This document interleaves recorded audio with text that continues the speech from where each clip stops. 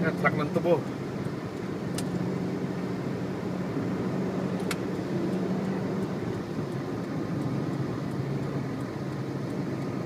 Tuwi pa rin tayo.